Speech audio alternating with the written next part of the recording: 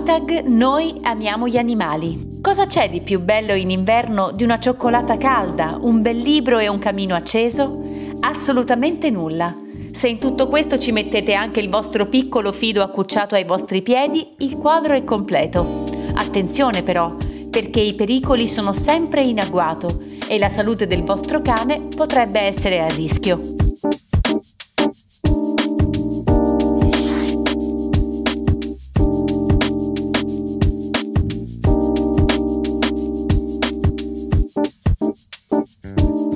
Questo nuovo video pensato per voi da noi di Amore a quattro zampe, ecco quali sono alcuni dei pericoli per fido di una stufa o un camino acceso e come prevenirli. Uno dei pericoli più gravi è l'avvelenamento per monossido di carbonio, che in alcuni casi può essere anche letale per fido. Il monossido infatti impedisce ai globuli rossi di trasportare l'ossigeno, fino a provocare una tossicità altamente pericolosa per il cuore e il sistema nervoso centrale. Solitamente si cominciano a vedere i primi segni di avvelenamento a seguito di inalazione di fumo, a incendi o a guasti di sistemi di generatori domestici. Il monossido di carbonio non è velenoso solo per Fido, ma per tutti gli esseri viventi, per cui ricordiamoci di stare tutti attenti. Ma come fare a capire se il nostro cucciolo è stato avvelenato?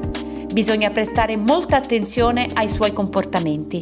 Tra questi vi sono comportamento irritabile come ansia o aggressività, fino a paura dei rumori, dei bambini o di altri animali ma anche vomito, sonnolenza, movimenti scordinati, rifiuto di entrare in casa dopo la passeggiata, labbra, gengive e orecchie arrossate, insolita pigrizia e ovviamente difficoltà a respirare. Se riscontriamo nel cane uno qualsiasi di questi sintomi, bisogna intervenire subito. La prima cosa da fare è portare Fido fuori all'aria aperta, così che possa respirare aria pulita. Sarà poi necessario contattare immediatamente il vostro veterinario di fiducia.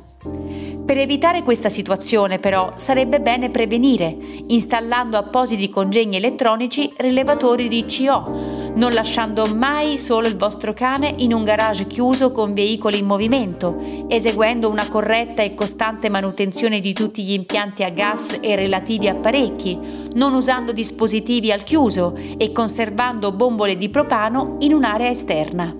Per questo video è proprio tutto. Se vuoi saperne di più sui pericoli che corre fido con una stufa o un camino accesi, clicca sul link dell'articolo corrispondente. Ma non solo, vuoi maggiori approfondimenti? Scoprili sempre nel link che trovi qui sotto. Anche il vostro cane ama stare al caldo di un fuoco acceso?